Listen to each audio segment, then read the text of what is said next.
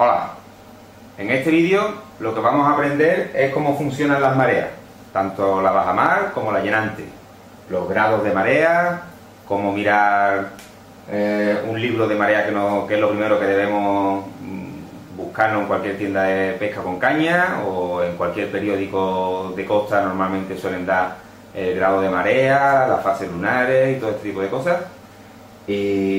En principio lo que tengo en mano es eh, el mapa de la zona de Cádiz, que es donde yo suelo pescar, pero se puede trasladar a cualquier zona de España. Eh, hay zonas donde hay mucha más corriente y otras que hay mucha menos. ¿no? El estrecho es de las zonas que más corriente tiene de España y lo que vamos a ver es, por ejemplo, si esta es la zona de Cádiz, esta es Tarifa y aquí tenemos Gibraltar, pues la baja mar, es decir, eh, cuando la marea va en esta dirección, desde el Atlántico hacia el Mediterráneo, le llamamos bajamar, ¿vale? Y cuando la corriente va del Mediterráneo hacia el Atlántico, es la llenante, la marea de llenante. La marea de bajamar es la, la que más fuerza tiene. Siempre va a tener mucha más corriente la marea cuando es de vaciante que de llenante. También, después de varios años como llevo pescando, lo que he comprobado es que si lo normal de la fase lunar es que sean 6 horas de, bajamar, 6 horas de llenante, dos mareas por cada bajamar y dos mareas con cada llenante, eh, al día, que son 4, y así se, se forman las 24 horas del día, pues esa es la teoría, pero a la práctica no es así. La bajamar normalmente son 7 u 8 horas de bajamar eh, en esta zona claro, la zona donde yo pesco. Y la llenante, aunque ponga en el libro de marea hasta las 12 de la mañana está llenando, a las 10 y media, cosas así, 11 como mucho, ya está normalmente el reparo y cuando pasa el reparo otra vez vaciante, con lo cual hay más tiempo de vaciante que de llenante, aunque la marea siga creciendo.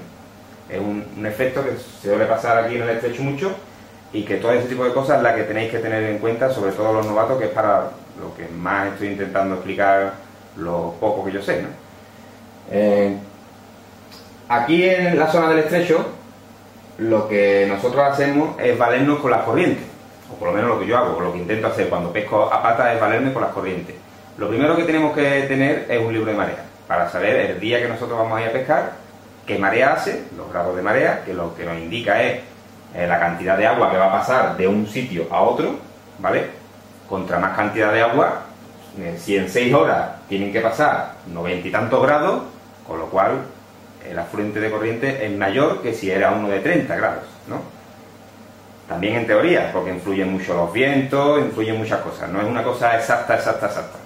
Ahora lo intentaremos explicar más o menos lo que yo sé. Eh, con la marea de vaciante, lo que nosotros hacemos es aprovechar, eh, aprovechar eso, aprovechar exactamente la, marea. Yo cuando pesco con mucha marea, normalmente voy con dos coches, vamos dos, dos, tres, cuatro, cinco compañeros, vamos con dos coches, dejamos un coche en una zona, aparcado, por ejemplo, si va de vaciante, pues dejamos una zona, por ejemplo, en la zona de, ¿qué digo yo?, Punta Paloma, y dejamos un coche allí, nos vestimos y nos montamos en el otro coche. Y ahora el otro coche cogemos y nos vamos a Bolonia, ¿vale? Y aparcamos allí, sacamos todos los bártulos, nos metemos a pescar desde Bolonia y con la vaciante, con 6 horas de vaciante, salimos por Punta Paloma. Con lo cual nunca vamos a luchar contra corriente. Si nos fallara el tema de las mareas, siempre tenemos un coche en un lado y un coche en otro lado. Con lo cual, andar nos va a tocar andar, pero siempre nos va a tocar andar a menos que si nos coge una corriente muy fuerte y tenemos que volver andando hasta el coche. Eso es uno de los puntos que podréis trasladarlo a cualquier zona de España, ¿vale? Si, intentáis, si vais dos o tres parejas en cada coche, pues más o menos podéis hacer esta técnica que la verdad es muy práctica y os ayudará mucho a la hora de cansaros menos a la, vuelta, que es cuando uno está más cansado. Después, una vez consigamos un libro de marea, lo que, lo que primero que miraremos es a qué hora es la llenante y a qué hora es la vaciante, ¿vale? para saber si meternos más hacia la derecha o más hacia la izquierda de la zona donde vayamos a pescar. Si la marea, por ejemplo, ahora son las 1 de la mañana, pues vamos a suponer que a las 4 de la tarde, ¿vale? A las 4 de la tarde baja más. ¿Vale? A las 4 de la tarde la bajamar. Y vamos a ir a pescar a Bolonia, por ejemplo. ¿Vale? Sabemos que la vaciante tira hacia la zona de Tarifa, con lo cual si dejamos el coche en Bolonia y son las 1 del mediodía, pues vamos a tener 3 horas en esta dirección. Después cogeremos una media hora más o menos de reparo y después empezaremos la llenante. ¿Vale?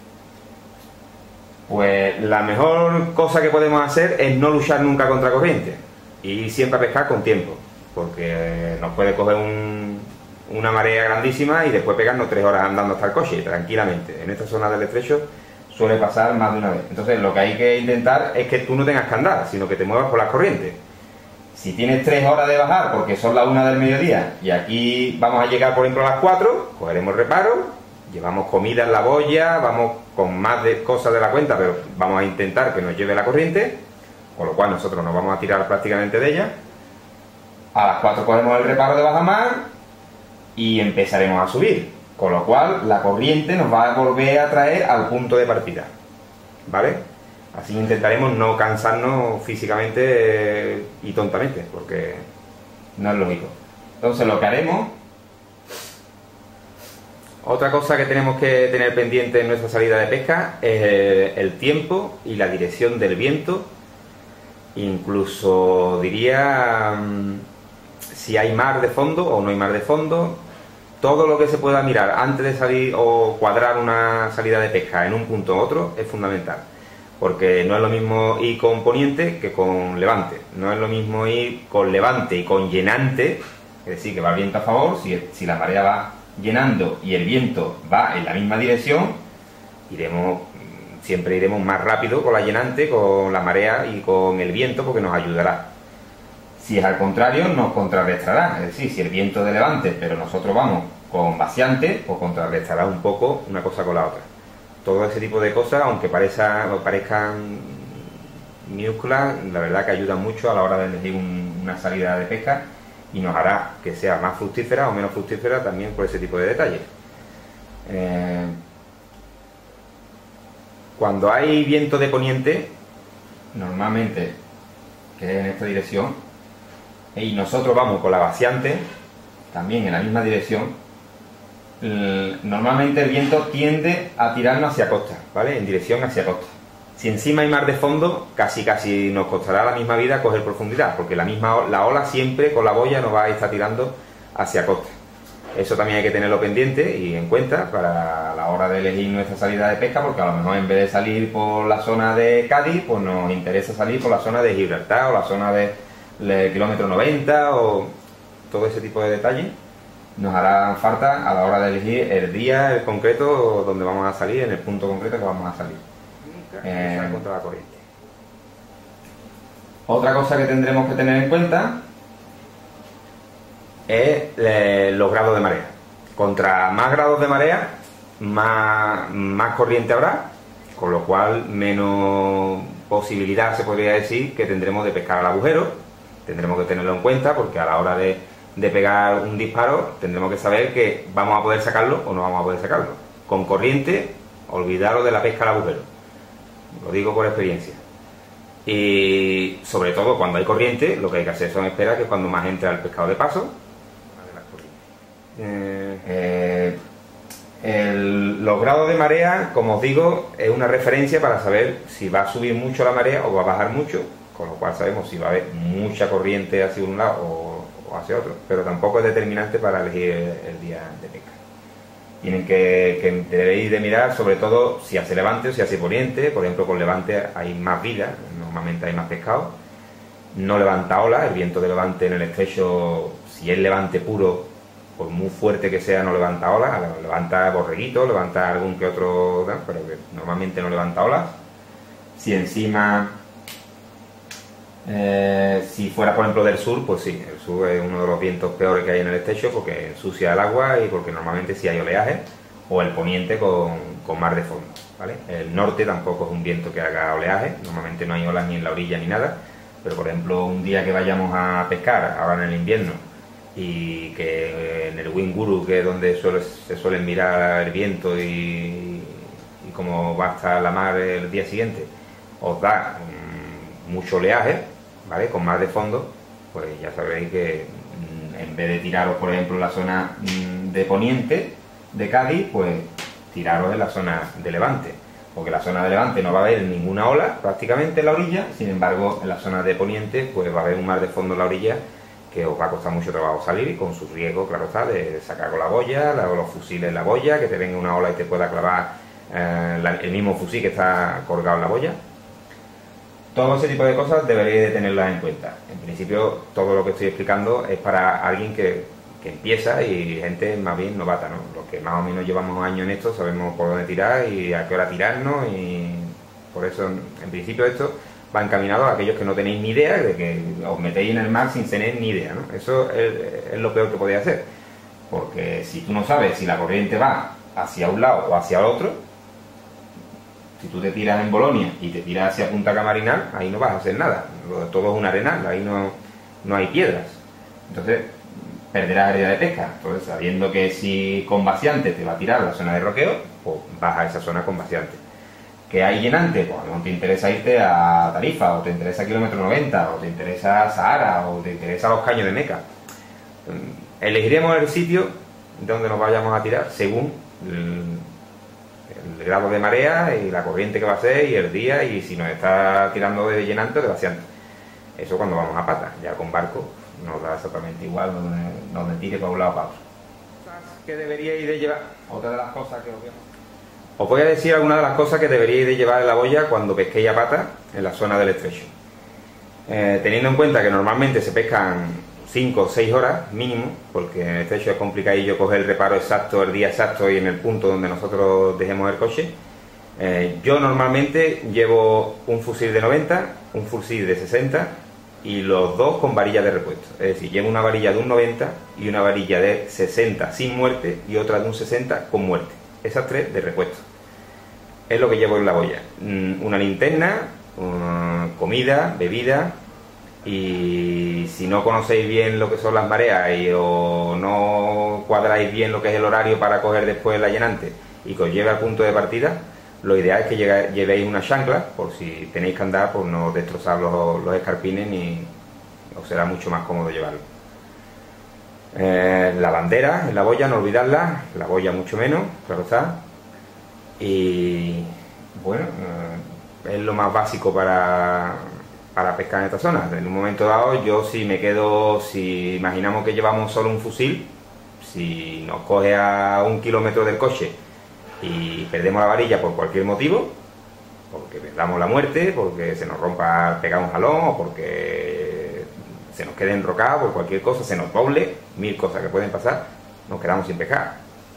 Yo soy de Sevilla, voy a pescar al estrecho, son 200 kilómetros ida, 200 kilómetros vuelta y desde luego yo sin pescar no me voy a quedar por una varilla, entonces por eso llevo material más que de sobra. Mm, es un engorro llevarlo, la verdad que cuesta más trabajo, pero aquí en el estrecho normalmente una vez que coges la profundidad, como te lleva la corriente, tampoco es una cosa muy, no sé, y también yo llevo goma elástica en la boya, con lo cual los tirones de la corriente y de las olas y eso no lo noto tanto. Normalmente me dejo llevar con la vaciante, siempre que voy a esta zona me dejo llevar con la vaciante, salgo, como y después cojo la llenante y cuando salga salir, no tengo un horario fijo ni unas veces saldré antes, otras veces saldré después. Lo ideal es hacerlo con la mayor seguridad y siempre, si siempre, eh, ir acompañado. Aunque aquí eso de uno arriba y otro abajo es imposible, lo tengo más que comprobado porque arriba puede ser una corriente, abajo otra, el que está abajo puede quedarse agarrado en el fondo o bicheando una piedra, el de arriba está nadando, no puede ir contra corriente, aquí eso es complicado, pero sí puede ir estar más o menos 10, 15, 20, 30, 40, 50 metros uno al lado de otro, más o menos atento, mira cómo está, en un poquito de, estar pendiente uno de otro y a la hora de salir siempre no vaya a estar solo, ¿no? Ante cualquier problema, pues igual, siempre tenéis algún compañero a quien echar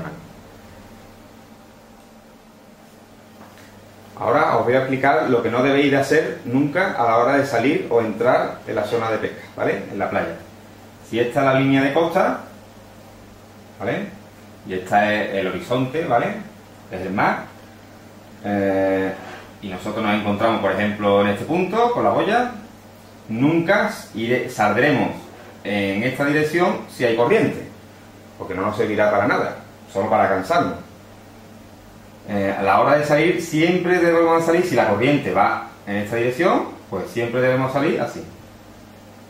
¿Vale? Buscando la costa, pero que en vez de salir, aquí tenemos el coche, en vez de salir por el coche vamos a salir unos 500, 400, 600 metros después del coche. La cosa es salir tranquilamente, sin cansarnos, y ya una vez salgamos, pues andando hacia el coche. Pero nunca ni tirar en dirección recta hacia el coche, porque no queremos llegar al punto de partida sin andar un poquito, y, muchísimo menos y en contra. Y sí, en, las zonas de corriente nunca se va en contra de corriente, porque en 10 minutos que estemos, como en 10 minutos, si es que lo aguante, la verdad que ya se terminó el día de pesca porque acabaremos totalmente reventados, ¿vale? Con las consecuencias, con sus consecuencias de riesgo, ¿no? Porque se nos coge un gemelo, se nos coge un tendón o cualquier cosa y la verdad que es bastante molesto y peligroso. Entonces, siempre que vayamos a salir del agua, siempre en dirección, buscando la costa, pero sin prisa, sin, sin tener que salir en un punto concreto. Porque el querer salir por un punto en concreto, a lo mejor con la corriente dándonos, nos hace que tengamos que estar luchando contra la corriente. Nos cansaremos tontamente cuando, mientras lleguemos a la costa, no hay ningún problema. Volvemos andando y sin problema. A la hora de salir, bueno, pues a la hora de salir, si, si salimos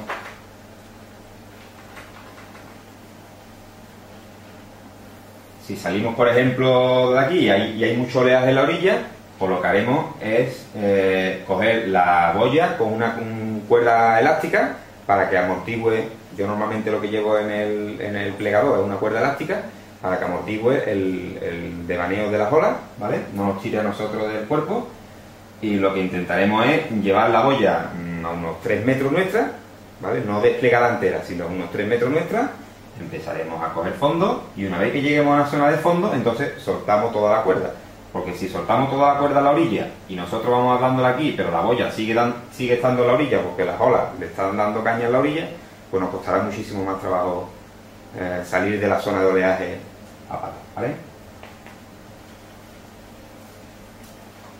Eh, a la hora de coger fondo, al entrar en el agua, volvemos a lo mismo. Mm, no queramos entrar pum pum pum directamente aquí, si hay corriente de vaciante o de llenante, ¿no? Intentaremos, ¿qué hay, de vaciante? Pues intentaremos ir cejadito, poco a poco, conforme nos vaya llevando la corriente. Siempre hay que valerse de la corriente, nunca luchar contra ella, ¿vale?